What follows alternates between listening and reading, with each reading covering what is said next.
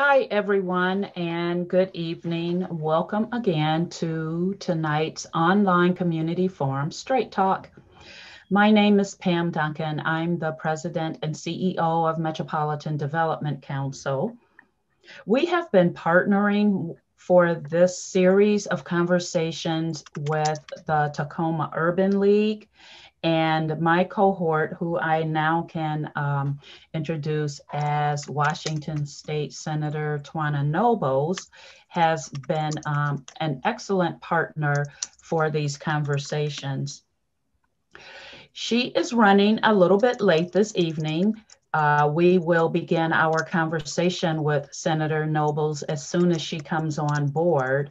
But I just wanted to make you aware as our audience how much we greatly appreciate you joining in. Tonight is the 31st in a series of conversations. You might recall that we started these conversations focused on the coronavirus and to be able to share with the community what is going on as we talk about the uh, coronavirus. Over the course of the time that we've been holding these conversations, there are so many other things that have come up that we decided we needed to continue having these conversations and not focus solely on the coronavirus and its impacts although we all know that the coronavirus has impacted pretty much every part of our daily life. We are now fortunate to have Senator, State Senator T'wina Nobles join us. Um, Madam Senator, I was just introducing, opening up our session, and we are just going to the part where we would like to publicly acknowledge this meeting is being conducted on the indigenous lands of the Puyallup people.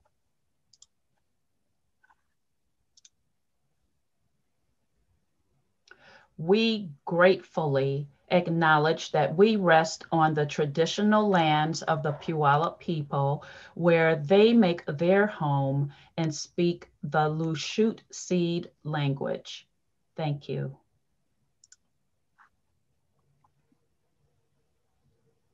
Throughout today's conversation, you can submit your questions that we will address using the Q&A function in Zoom.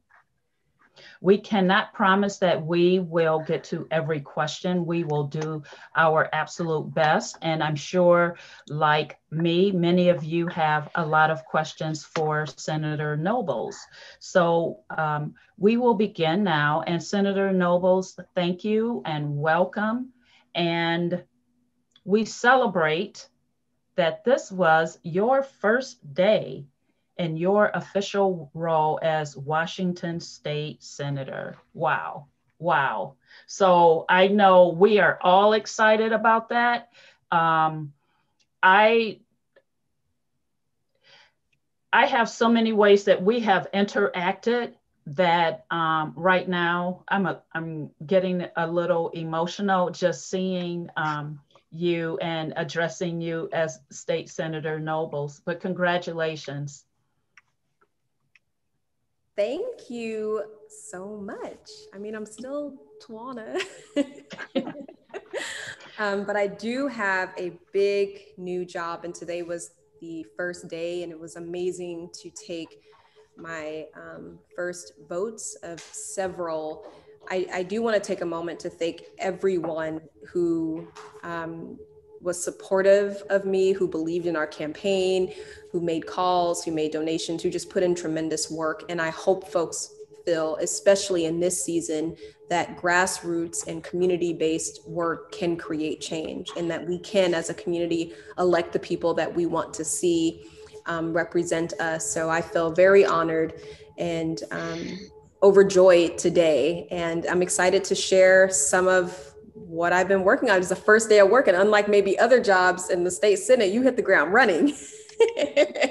um, there, I've already been through orientation, but it's it's on the job training. Um, so mm-hmm. I'll pause in case there's more you want to say, Pam. But I'd love to to share with everyone um, kind of what I'm thinking of, of working on this session. Okay, well, we've got a lot. Um,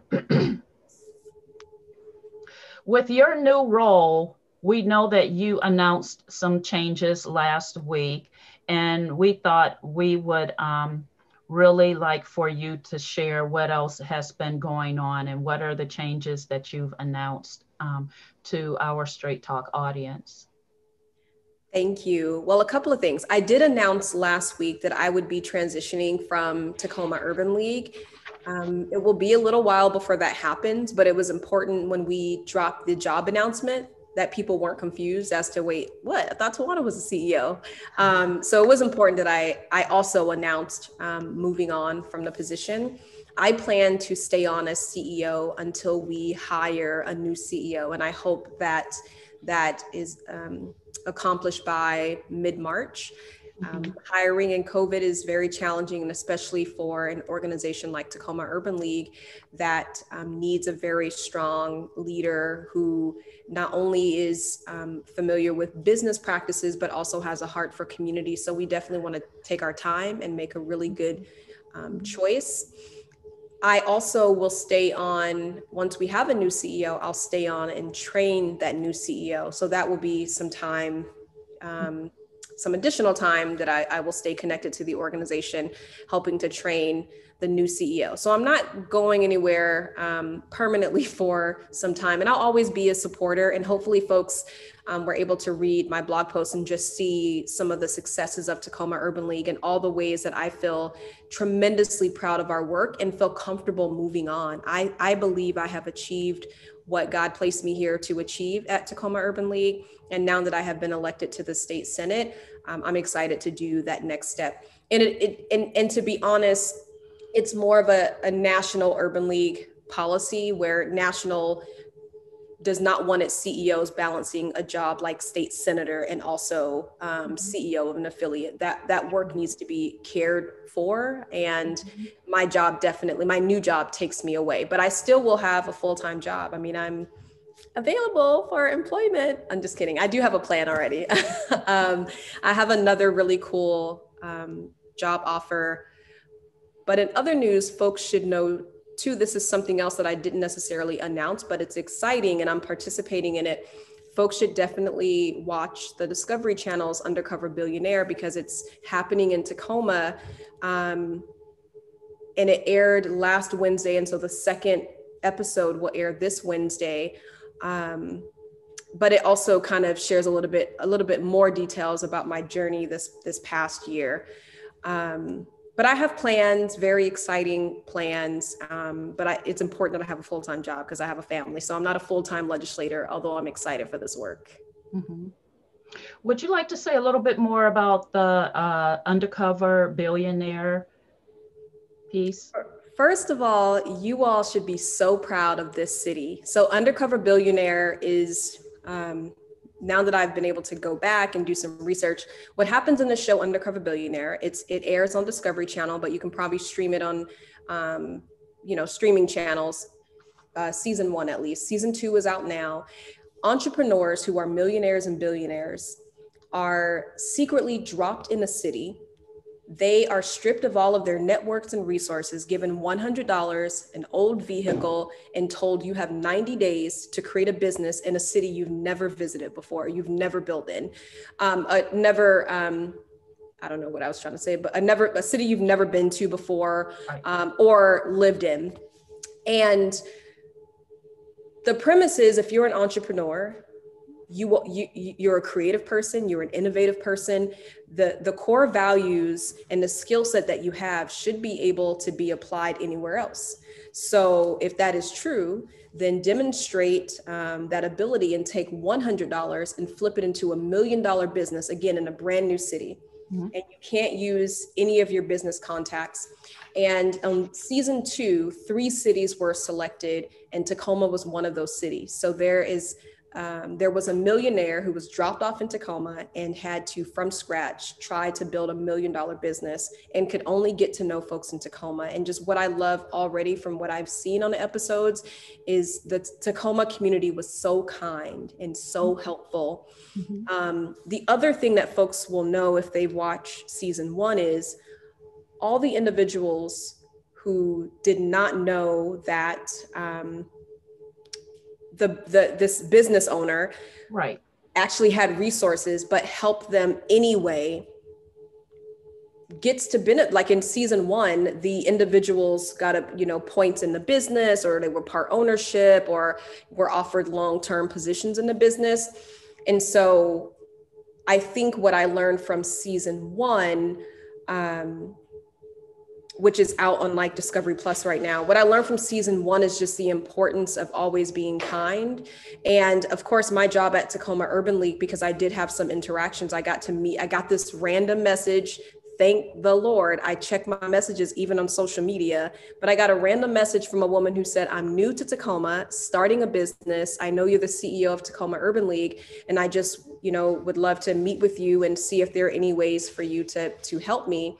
And I said, of course, but please email me here at work um, mm-hmm. because that's where I like to, you know, do all mm-hmm. my Urban League work. Mm-hmm. And so we were able to connect, and I did my best to help her with some some resources here in Tacoma. But so did so many other folks here in Tacoma. Just demonstrate kindness, demonstrate compassionate Tacoma. Um, and so folks have to watch the show to see what happened. But I'm just really proud of this city for standing up and um, being the true Tacomans that, you know, we are. I live in Fircrest, so I definitely rep Fircrest, but, you know, Tacoma Pierce County area. But yeah. please watch the show or go back and watch season two because okay. Tacoma is on the map and it's not for cops. okay. okay. So, what I hear um, is um, a reiteration of something that um, we are exhorted to do to be hospitable because in doing so, we have often entertained angels unawares. So, um, yeah. Be kind, be compassionate. Yeah. Thank you for uh, that. So, um, I will check that out. Yeah. And I'm glad every you brought Wednesday. that up. Um, what's that? So it comes on every Wednesday. Every Wednesday. Thank you. And so you actually also answered my question about what happens next with the leadership of the Tacoma Urban League, and a, um, a question that begs to be answered asked and answered on the heels of that is so what does that mean for straight talk? So um, this is something that T'wina and I have had a conversation about, um, and with mixed emotions um, that um, we we are seeing where things um, begin to change a little. I'm also um, really excited about it. So uh, we we had this conversation. Mm, and um, after the e- election about what this would mean and for the audience i like to say that this has been uh, for not only mdc but for me very meaningful because um, this is a, um, a sister to me who is um, a sister in many ways. And I wanted to have the opportunity to show community what it looks like when Black women work together. And that we could partner and we could do something really powerful. And the idea was initially that we would have these conversations about coronavirus. Coronavirus, COVID is the thing that made the conversations happen about hey let's let's talk about doing this and not have it turf based but uh, community focused and as we um, continue down this journey of straight talk we just saw that there were opportunities there are opportunities to talk about so many things that people on the ground who may not be in the thousands of Zoom conversations like we are every day have an opportunity to hear about. So uh, that was how we started. T'wina, what would you w- like to weigh in about? I definitely thank you for having this, um, for having a vision for us to be able to enter into this um, experience together because I think you might have had already completed one episode and maybe I came in on a second episode or maybe I did start from the beginning, but I started from the beginning. But mm-hmm. this was definitely your vision for how our organizations um, could be leading conversations around coronavirus. And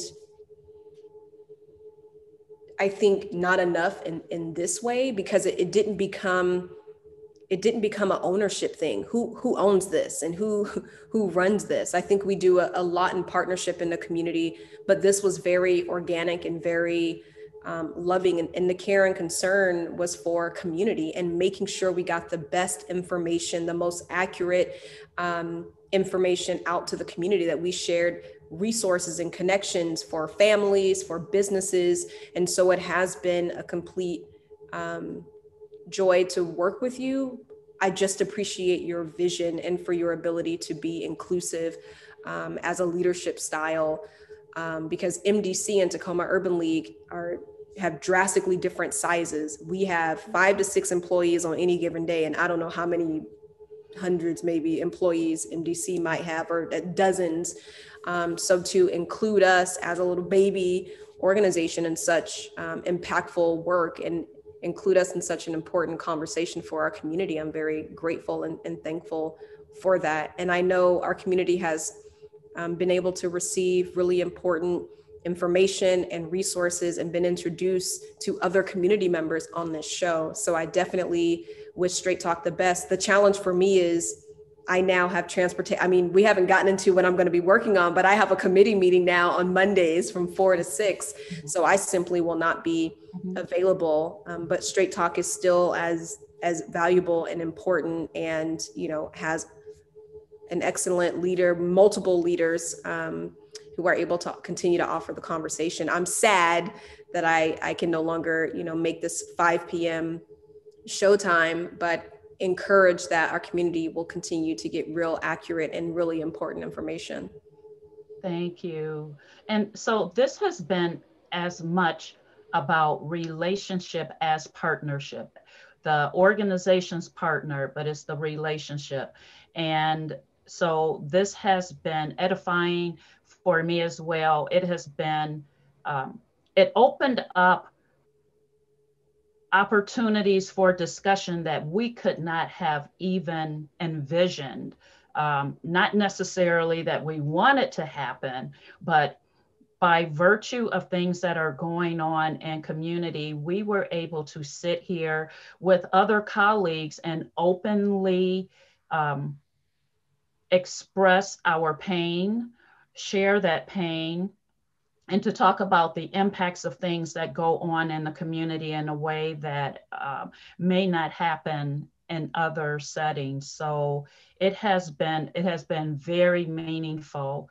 Um, and I, from what I have heard back from folks who have tuned in, like, wow, this has been very, very powerful. And it's my sincere hope that we continue with that, um, knowing that we won't be seeing State Senator T'wina Nobles on the screen, um, you know you are always welcome to come back. And not only are you welcome to come back, but I will ping you to come back. But um, so the faces may change a little, but we will continue the important work of holding straight talk and being straight about our talk. That's right. Um, so we do want to ask you a few questions about your first day. Um, what took place? You talked about the orientation. I can't even imagine what that was like, but tell us about your first day. Yeah, and orientation happened weeks ago and it was all on Zoom. Um, so a, a lot of I just want to share this. Folks who were like, make sure you are kind of rubbing elbows and getting to know the rest of your cohort in orientation. I'm like, we're on Zoom and it's just presentation after presentation. It's not in person orientation like the rest of you all. Um, and our videos, you know, our camera and microphones are off and we're just absorbing information. So it's very different. What I loved about today being my first day, you know, not just having the the honor and privilege of being in the the Senate chamber um, surrounded by marble walls. I think what I loved so much is I met a lot of my colleagues for the first time today, but it seemed like we have been best friends. I mean, I have been talking to many of these individuals for months, um, even on a campaign trail. They just were excited about me running and they were really supportive. But there were folks who I didn't even realize today was the first time I had met them in person. Our relationship had wow. um, deepened so much, and so I'm I'm grateful for that because if there's one thing that I learned, you know, running a full a fully remote campaign is you can build team and build relationship um, and have common goals and accomplish really good work, um, even if you haven't met in real life. That's possible. So I'm in, encouraged. Today was the only day in session that we would be in person together. The rest of the days um, will be, uh, we're encouraged to work remotely. Senators are allowed to work in their offices, so it's not off the table for senators, um, but we are encouraged to work remotely. Um, I my office is not put together. Just so folks know, my office will be in Cherberg. It's 226, but my office is you know left the way it, it was after they painted and cleaned it up. So today i was in senator emily randall's office and because she's a part of leadership she was on the floor. And we all had to stay in a designated space and we voted in groups so that we could remain socially distant. Um, and so i was in group three and i stayed in senator randall's office unless i needed to go down um, and she's on the fourth floor unless i needed to go down to the third floor to vote. Um, and you all should know your girl wore heels on her first day, which is a little bit of a challenge on the stairs, but thankfully there are lots of elevators too. um, but I feel like I should have wore like my Apple Watch or a Fitbit because of the up and down and up and down for the votes. But it just is really, I think, surreal. I um, I worked with um, Mayor Woodard, who I, you know, Mama Mayor, I just call her Victoria, to pick out the suit I wanted to wear today for this historic moment, my only day likely this session that I would um, be in person um, in the Senate chambers to vote and to do the work of, of the people. But it was important for me to, um, to represent my district, to keep them in my heart and in my mind, um, to look good and feel good. Um, I think we anticipated maybe staying there late at night, a combination of you never know how long floor action will take. And also, we didn't know what to expect with, with protests. Um, but I felt safe. I was nervous leading up to today. There were multiple security conversations. And based on what happened in DC, um, I wasn't sure what might happen our first day of session. But I, I just want to um, thank the state troopers and National Guard members, and I mean hundreds um, surrounding a perimeter. We we were there was a gate where only legislators or staff could enter, but they totally made our arrival smooth. We were safe. All of our many of us had a lot of anxiety around what might happen, um, and everything was mm-hmm. completely fine. All the checkpoints. I mean, staff worked tremendously hard to have this day run smoothly. And I and I think I checked in with you before three o'clock, and we or around three o'clock, and we were we were done with our our floor action for today. So it was. I didn't really know what to expect. For everyone else, this is different. For me, this is all I know. This is how right. I know session, right. and everybody keeps right. telling me it's so different. It's so different. Um, but today was fantastic, and you know I'll do the the remaining remainder of session from home. Mm-hmm but I feel blessed and honored. And um, I, I, won't go further. I'm sure you have other questions, but I'm excited to tell you other things that I, I worked on today on my first day of work. But, um, but it was great. It was pretty flawless as far as what I could see. Mm-hmm. So, yep, I do have a lot of other questions, and we will get to conversations about what we saw at um, the national capital and subsequently um, more locally. I do want to ask first, um, which committees will you have a role in? Yeah, I am vice chair on two committees and serve on four committees. So I'm vice chair for early learning in K 12. I am also vice chair for higher education and workforce development. I will serve on the transportation committee and behavioral health subcommittee.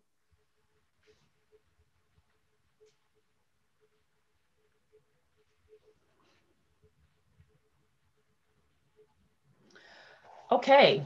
Do, do you get to select those? Good question.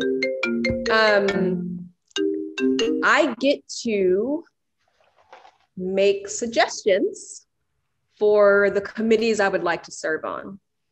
But the committee on committees um, ultimately has committee. to juggle, right? has to juggle and shift and figure out numbers and where people need to serve. And some things are based on seniority. Some committees, like Ways and Means, have a waiting list. Um, I actually played a little prank. We, we had to turn in a form to suggest or recommend committees to be on. So I played a little prank as a freshman. Um, one to show, you know, my sense of humor, but two, because I was also serious. So you're supposed to select, you know, three committees to serve on. And I sent my form back with only one committee, and it was Ways and Means.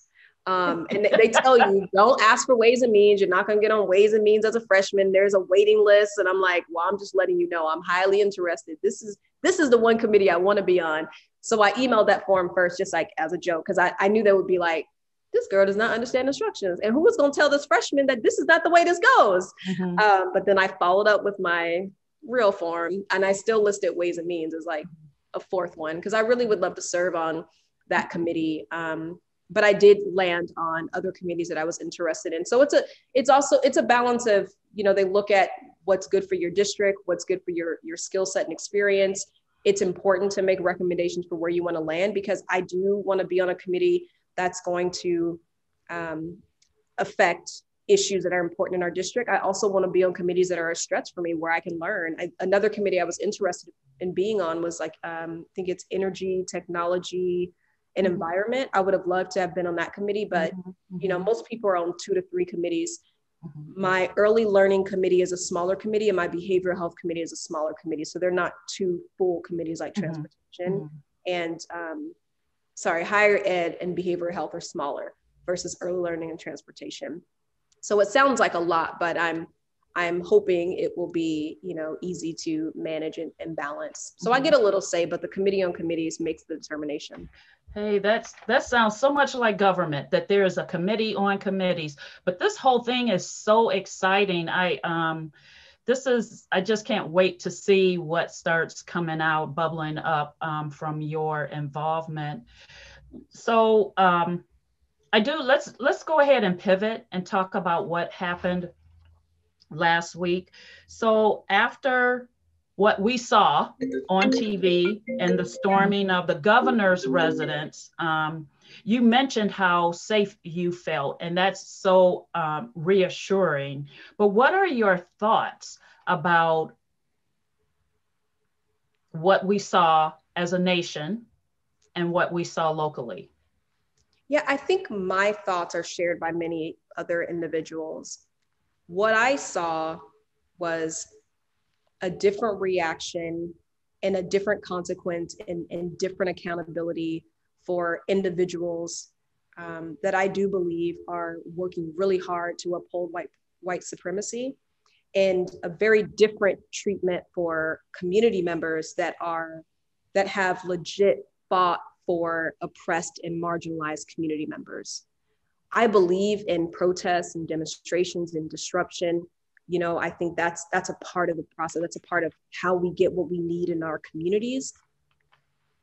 I i witnessed um you know I, I witnessed criminal activity and a lack of accountability and very different treatment um, for that criminal behavior. And so I think it it left me. I mean, I had to practice really good self care and just like what I, I saw on social media um, because it wasn't it wasn't new information. I wasn't surprised. Surprised. Right. you know, I, I, definitely wasn't like I can't believe this. No, I, I, believe it. This this this is America. This is the America that we that we live in. Mm-hmm. And I just felt continued disappointment and, and disgust for um, the ways that some community members can show up and not be held accountable. And so I am looking forward to accountability and a continued communication that we will not tolerate, you know, white supremacy in this country, that we will not tolerate that type of behavior in this country. Um, but it, it, it was it was a lot, and and I felt like it. There wasn't anything more I could say or add that folks weren't weren't already saying, and there were there were no surprises. I'm grateful. You know, I checked in on um, Congresswoman Strickland to make sure she was okay. I think more than anything, I wanted to make sure that the officers on site who were doing their job and, and protecting staff there and members there were okay that you know members and staff were were safe you know my heart broke for them um, but i just I, I wasn't surprised by the behavior of the trump supporters and i'm not surprised by the lengths at which they will go to to uphold white supremacy um, and that just made me really reflect on our safety as members here in our state and what could happen. Today, I felt absolutely safe when I was there and all the safety protocols were in place. But again, it took numerous conversations and we had conversations as members, you know, as our caucus, but we also had conversations, you know, as a Black caucus and as member of as the member of color caucus, because again, as a Black woman, I feel my safety, um, how I, I feel for my safety, I believe is different than maybe some of my colleagues. It's, it, for me, it wasn't a like, let's see what happens. Let's, I wanted information and details about how our state was going to be committed to keeping me safe. Mm-hmm. Um, that type of behavior does not make me feel safe. The, the idea of the threat of that type of behavior does not make me feel safe. Yeah. So I needed a commitment, a promise, a plan for our safety. And definitely um, the governor and all of the law enforcement who were present um, made our safety a priority. And so we were able to conduct business today um, safely.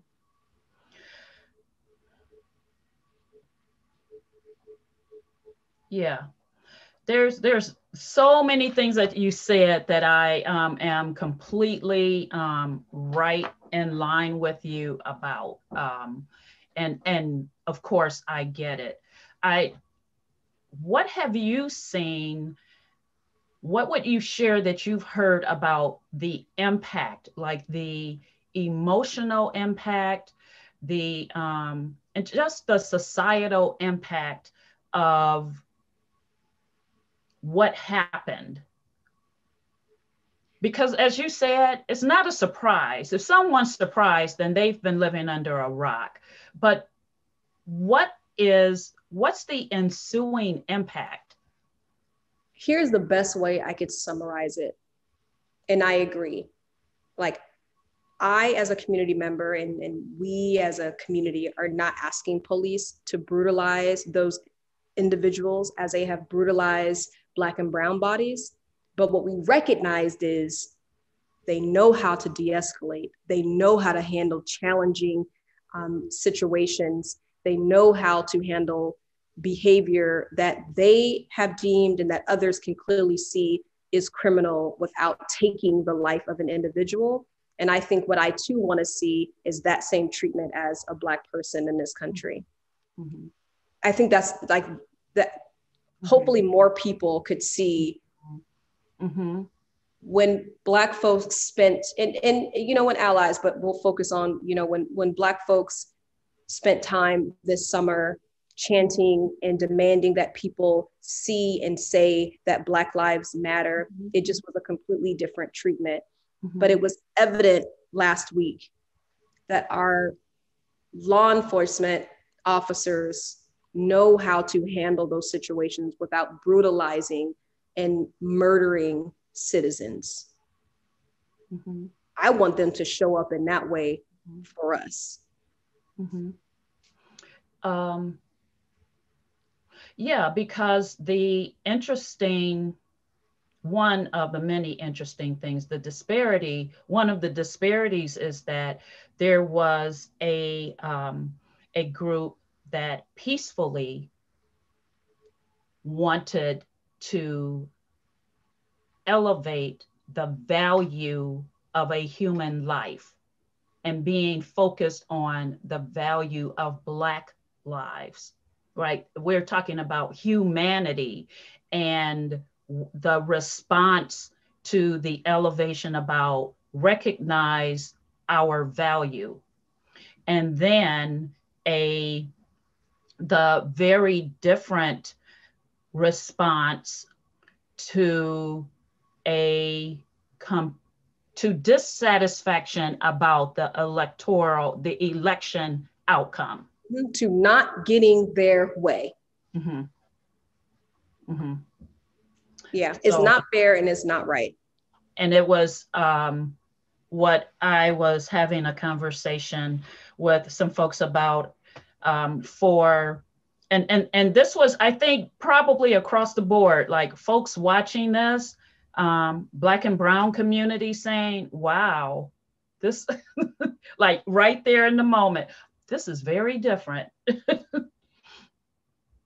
And i think it just highlights one what many of us have been saying in the community what organizations like tacoma urban league have been saying about the injustice that exists about the the different levels of accountability and treatment um, experienced by you know black and white community members by community members of, of you know different um, skin color in general in this country and it's not right. It also highlights again no no surprise just the work that continues um, to need to happen. You know it it it it validated and, and, affirms the work that organizations like Tacoma Urban League and MDC and the NAACP and the Tacoma Pierce County Black Collective, um, the necessity of that work and, and why we do that work. It just validated and reaffirmed, you know, the importance of, of, of our work and, and why we must continue to let our community know that Black lives matter. And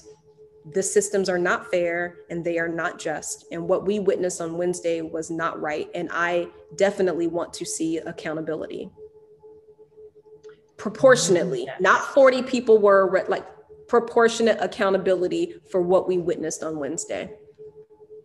Would you say some more about that? What does proportionate accountability mean to you? Yeah, well, for you to have hundreds of individuals who committed crimes and so few of them are being held accountable legally, are, are being arrested. Um, to me, that's disappointing and unacceptable. When we when we saw hundreds of, you know, community members be arrested and charged again for peacefully protesting mm-hmm. this past summer. Mm-hmm. Um, I want to make sure that for the number of people who committed crimes, they are charged for those crimes, that the work is done to find those individuals and to hold them accountable for the crimes that they committed. Mm-hmm. Mm-hmm.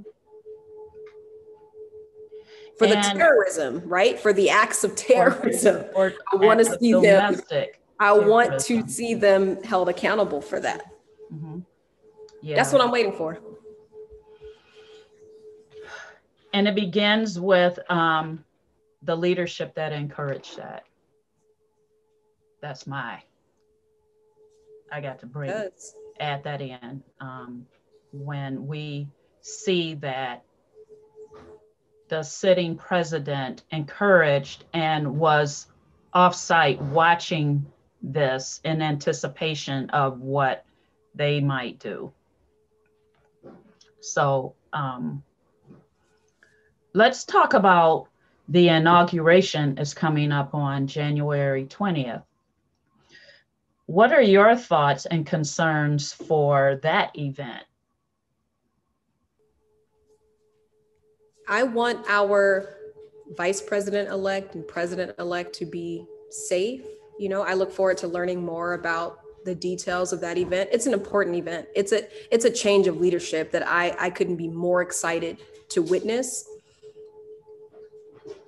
I can't help but to wonder what will happen on that day, to fear what will happen on that day. Mm-hmm. But I pray all of the necessary safety measures are in place. Um, that one, because we're in a pandemic, but 2 mm-hmm. even just based upon what happened on Wednesday, um, that this inauguration looks different and that's okay. That's okay. I want to make sure that our our president elect and vice president elect um, are able to to transition mm-hmm. and take the reins and, and lead us into the future that we all were, were counting on and praying for and, and betting on when we cast our, our votes. Um, so I, I don't know what to expect, but based on what happened Wednesday, anything can happen. Mm-hmm. Anything can happen. So knowing that, I just I hope all the all the key decision makers are are wise and and know that it's okay for this to look and feel different so we can keep everyone mm-hmm. safe. It's okay. Yep. Yep. Yep. Because of the yep. pandemic, because of potential violence, um, because of potential resistance, um, it's okay. Yeah. We we want to see them. We want to see them take over the White House. That's it. Mm-hmm. This is a um, sea change um, and what we've been accustomed to is you think about historically how things have um, taken place, you know, the inauguration has always been like something that's um, widely attended. Um, just even how people would, you know, the, the new president would um, just travel through the streets. Um, you know, that began to change um, some time ago, I probably, especially after the um, assassination of Kennedy. Um, but now we, this is also a big, a major change that will likely set the course for moving forward, whatever it is that we see next week. Um, and like you said, you know what? It's okay. Whatever that is that ensures the transition of power, the safety of those who are being sworn in, um, and just however we make certain that um, our leaders are being um, looked looked after. I like what it you doesn't said. Make the it's moment, okay. It doesn't make the moment any less significant. Yeah, yeah. I mean, it's just like, hey, we've had to transition from in person meetings to, you know, almost, you know, 99% anyway, uh, being having conversations and meetings online. And it doesn't change the significance of the conversation. So um, I, I really like what you said. So I'm wondering, and I, I'm going to pivot back to your role um, I'm wondering what are you, Senator Nobles, excited about in serving now in this new capacity? What are you like? Ooh, I can't wait to do this. Um, what is it? Well, I mean, lots of things. Some things I can't wait to do this, and we realistically may be able to this session, and other things will just take some time, and I may just be excited to work on it and to do my part. Um, so I'll start with one that's large, and I I have it. It's it's far larger than just me, but it's important for our district and and for Pierce County, um, and that's car tab relief. I recognize that for a lot of our community members, um, it's a challenge to afford the car tab price um, mm-hmm. and in the way and what i learned because a lot of people say 30 $30 car tabs and what i learned is like the base tab is actually $30 but the taxes that have been added to it mm-hmm. have increased the total amount that we pay to renew our tabs and so i'm trying to i'm interested and excited about finding ways to relieve that financial burden on our community members you know especially now in this pandemic, it's just not as that one is just not easy. It, it involves a lot of individuals. Even in my idea to like a, a, an idea that we talked about to reduce costs, it may it may add an additional fee for you know convenience and so i'm like well if i'm, I'm trying to get people to pay less not more so it's a lot to figure out and, and talk through and, and that one just does not have a very easy fix and i have to learn a lot of historical information um, as well. Mm-hmm. but it's been really a really great journey already um, meeting with staff and learning about the issue. But that's something that i'm excited to work on and excited to to pass as legislation some type of car tab relief. Um, something that i'm hoping i can actually pass this session that may be a little bit easier because of the support is um, a bit of a, a change to the college bound scholarship. I don't know if how many folks are familiar with the college bound scholarship, but in years past, students in seventh or eighth, seventh and eighth grade can sign up for the college bound scholarship. And as long as they have had a 2.0, no felony, graduated from Washington State High School, and plan to attend a you know state school two or four years, they have funds to pay for their college education. Mm-hmm. Well, my daughter was an eighth grader this past spring, and COVID happened, and it was on our to do list to apply for the college bound scholarship but schools were closed. That obviously was not a priority. And what I learned is all of those students were automatically enrolled. So now they're ninth graders and they have been automatically, eighth graders who did not get to sign up are automatically enrolled in the College Bound Scholarship Program, which is a, a, a lifesaver. Mm-hmm. But I'm trying to work on the, the, that's a good thing, automatically enrolling. What I learned though is and just in case people don't know and they're thinking, well, what's different? What changed? Typically, to sign up for the college bound scholarship, there is a form that comes home and you sign this contract as a parent or guardian or adult, and the student also signs it. Mm-hmm. And that has been the binding legal document that really ensures that that ties the state to paying for your college education what happens with the automatic enrollment if we don't pass the correct legislation so that that happened because of covid and that was something the governor um, mandated happen for those students so they wouldn't miss out. But it's a, it's a really good idea, and we can make it more permanent with legislation. And so I'm trying to work on the, the Senate bill um, that would retain the auto enrollment. But what I'm learning is there may be some challenges if we don't have that legal binding contract. Like auto enrollment is good, but it doesn't necess- it doesn't equate to future leaders in our state legislature including that in, in the budget. And it, there isn't a binding document with just the auto enrollment. And so we're trying to figure out how to still make it an entitlement a guarantee because that contract and some argue well not really. You mean to tell me a contract signed by a teenager is you know legal binding or a preteen? Um, but we're just trying to make sure that with auto enrollment we don't lose the promise that we don't lose the actual dedicated funds for those students. Um, but I think to change that program to now students are automatically automatically enrolled. Um, and I actually had a really great conversation today to remove some of the other qualifications to be more inclusive so more students could qualify. And that would be really exciting. But that's something I hope because the auto enrollment is already in place due to COVID, I'm hoping we can make it more permanent. But I want to make sure that we don't miss loopholes and when students are completing their, their FAFSA for college, they're told, oh, the state budget changed. We don't have the money this year because we didn't pay close attention to the language that makes those funds an entitlement for students. Mm-hmm. So I'm learning a lot and I really have wanted that to be the first bill that I drop. Um, it requires some more work. So I probably will be dropping some other bills before.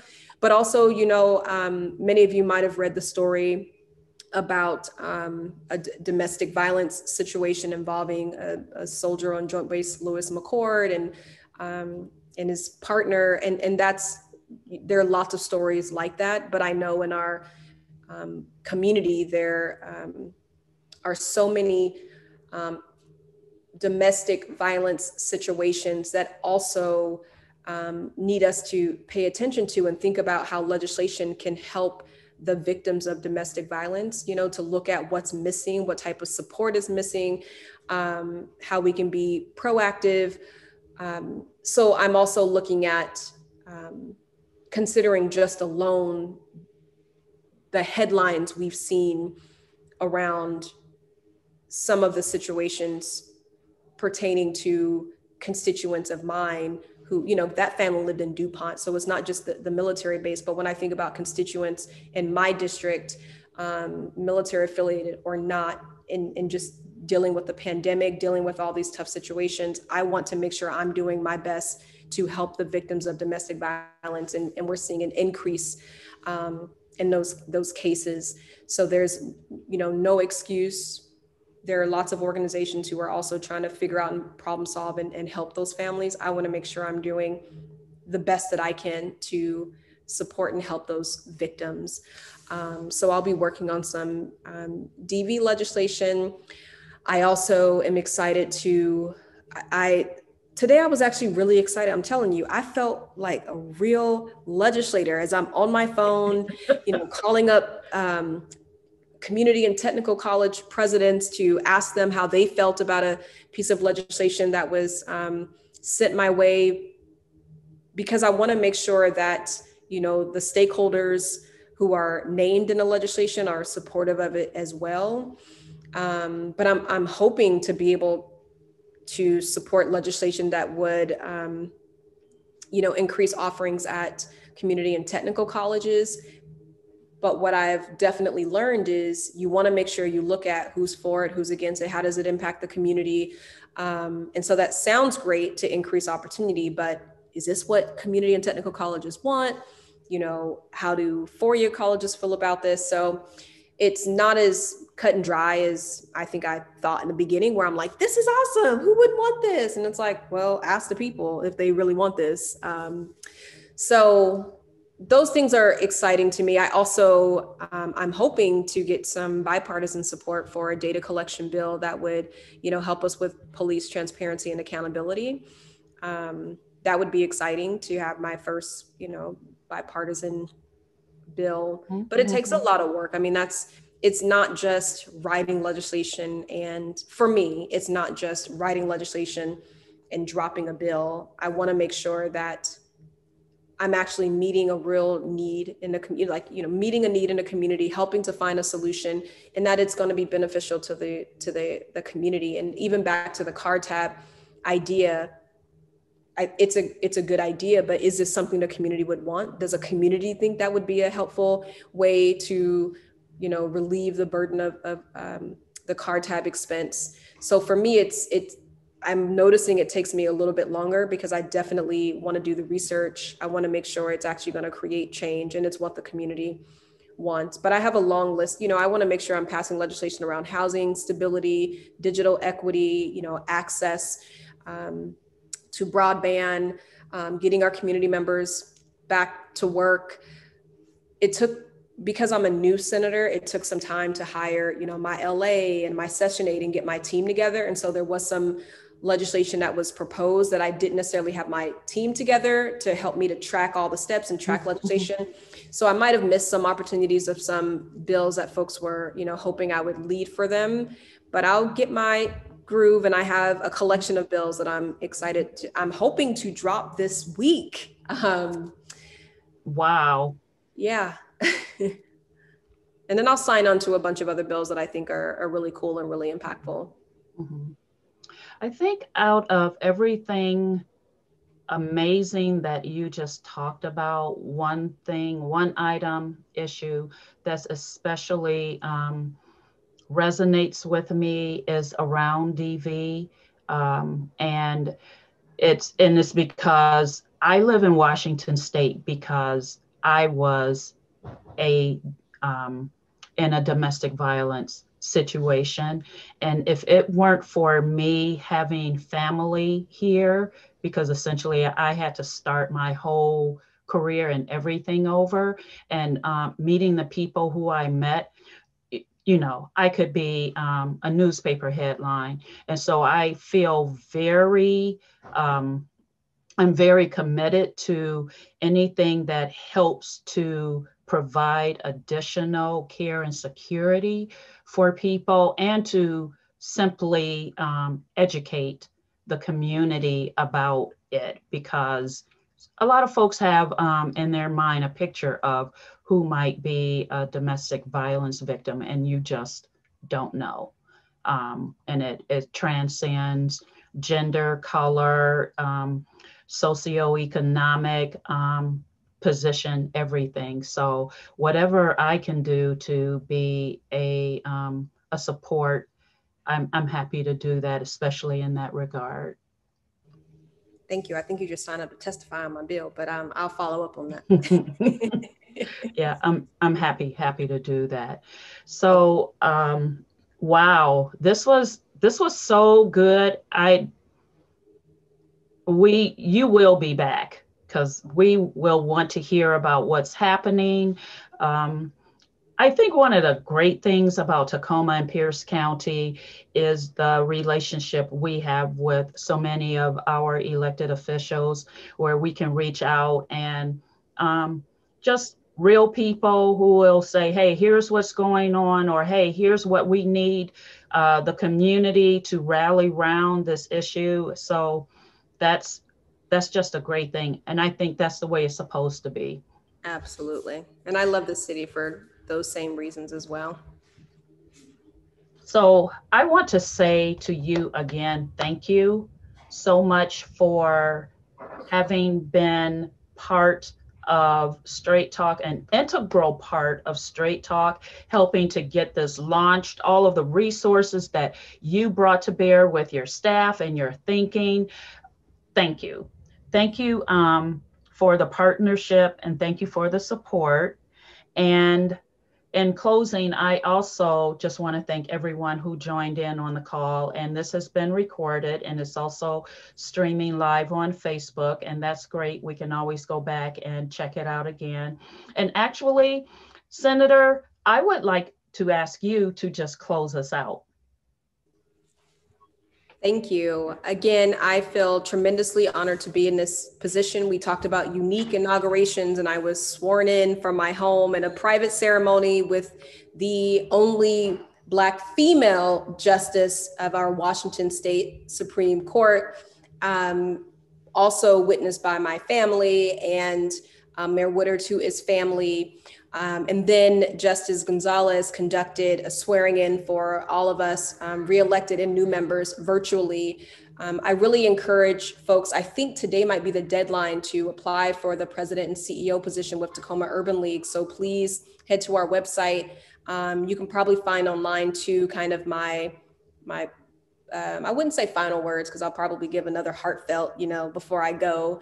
Um, but at least if you want to read my blog post, because it, it, includes a lot of really cool updates and and what the new CEO will inherit and build on, um, and and simply, you know, make make better as they're creating their own footsteps.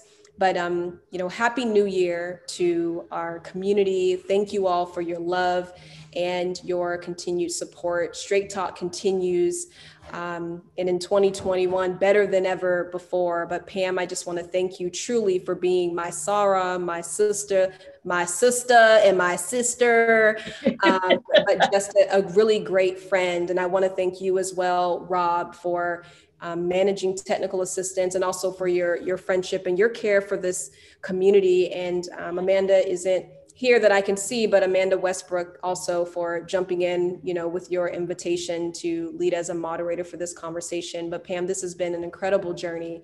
And community, I just want to say thank you. I love you and continue to tune in to Straight Talk and you know follow all of my state senate social media because today it's official the senate has some melanin i love you all and thank you have a fabulous thank you. night Thank you. Good night, everyone.